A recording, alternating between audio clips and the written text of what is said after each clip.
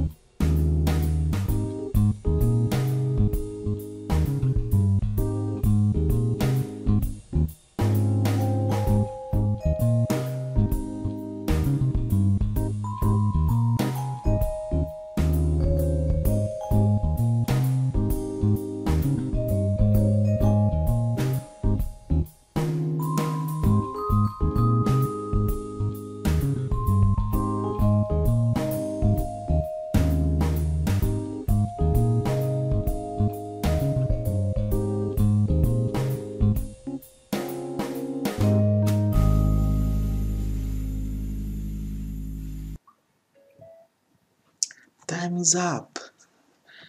Great. I'm sure you found this.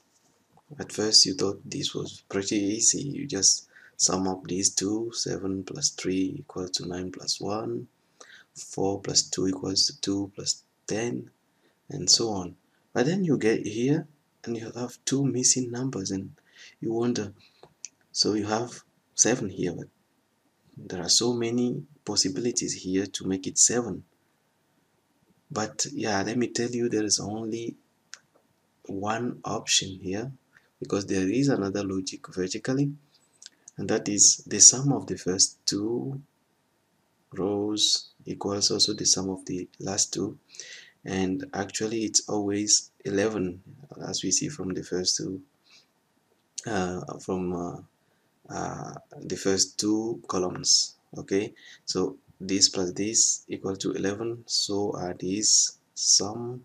So 3 plus 8 equals to 11 9 plus 2 equals to 11 so yeah we should expect here that the sum of these two which are also 11 equals the sum of these two which means that we are only missing here 6 and 1 how easy did you find this test yeah please tell me in the comment down below.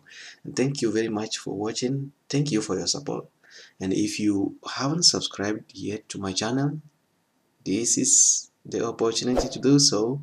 And um, yeah by doing so you don't miss any of my coming videos. And uh, you are supporting the channel to grow. Thank you very much. And uh, I will see you next time. And until then take care. Peace